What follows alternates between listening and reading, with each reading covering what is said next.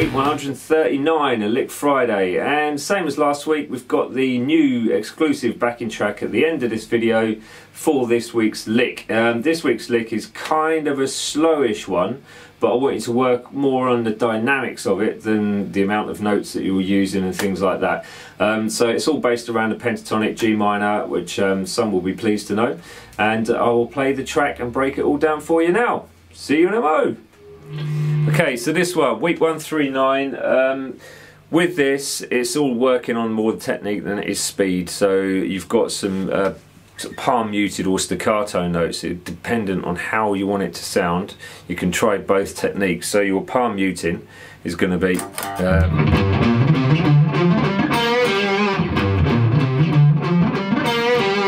or if you're going to cut it short with staccato which sounds a little bit more funky, but it all depends on what sort of sound you want from it. So I would say trying both. So the palm mute, you're going to stick the side of your palm onto the slightly on the strings and slightly on the bridge and that will give you your chug chug noise um, or if you're staccato basically bring your palm mute further back and you can quickly get that on the strings just after you pick it so like keep it on there as you play through. This all going to give you a different sound. There's no right or wrong way to do it, so just experiment really. But this is the lick along with the track. Here we go. Going to play it up the octave as well.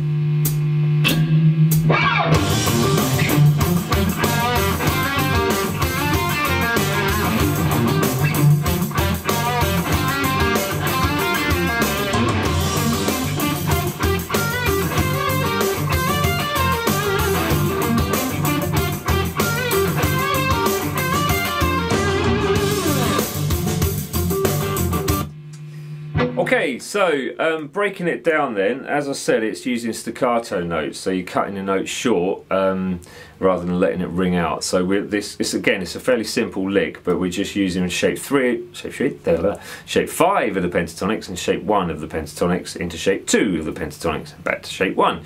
Um, so we're starting off with fret 5, uh, fret 3 on the 6th string, I'll get it right in a minute, bear with me. Um, so we've got, and then it's straight to the 5th string, fret 1, fret 3 and fret 5. Try and take note of the fingers that I'm using. Um, and then you've got fret 3, fret 5 on the 4th string. And then this is where the sort of blues curl comes in. So it's the fret 3 on the third string. You're going to bend that slightly at the end, only a very small amount. So, so the 5th fret on the 4th string. Then we've got a slide from the 5 into the 6, back to the 5, and then pull off to the 3, all on that third string. So, okay.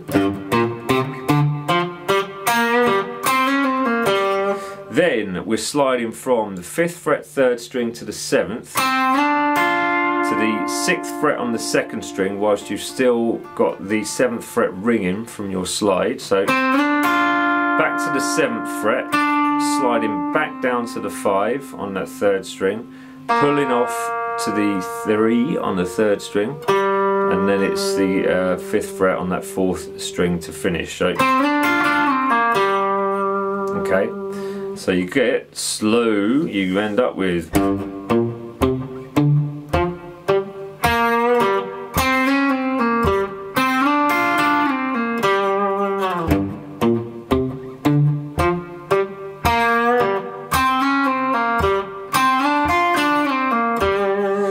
you were again taking it up the octave same as you did last week and so fret 3 is now going to become fret 15 fret 1 is going to be fret 13 fret uh, 5 is going to be 17 etc etc so it's um, a nice way to try and get used to the same uh, pentatonic shapes up the octave and it's a really nice thing to do because you can actually take the same licks put them an octave higher and they give you a slightly different vibe and it's great for building on solos so get used to that.